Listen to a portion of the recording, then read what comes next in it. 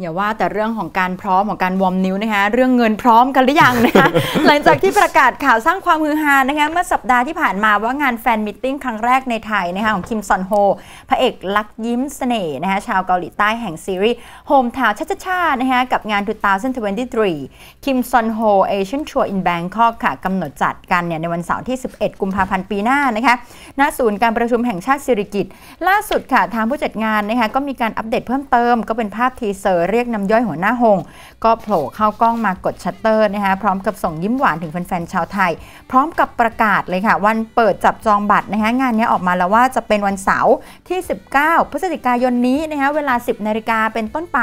ทางเว็บไซต์ All Ticket นะคะแล้วก็ Counter Service นะคะที่7 e เ e ่ e อทุกสาขาทั่วประเทศค่ะ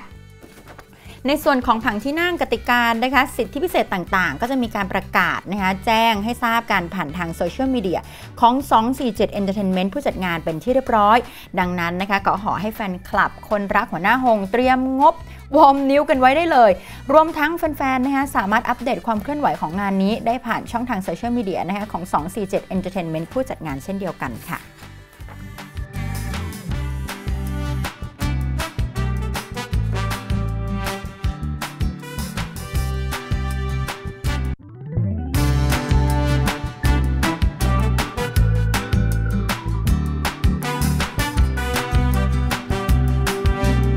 ขอบคุณคุณผู้ชมทุกคนนะคะที่ติดตามรายการ Inside News Tonight อย่าลืมกดกระดิ่งและกด subscribe กันด้วยนะคะ เรายังมีคลิปวิดีโออื่น ๆ อีกมากมายค่ะ และถ้าคุณผู้ชมนะคะไม่อยากพลาดการรับชมแบบสด ๆ สามารถติดตามได้ที่ Facebook Fanpage True Insight เข้าไปกดติดตามได้ที่ลิงก์ใต้คลิปนี้เลยค่ะ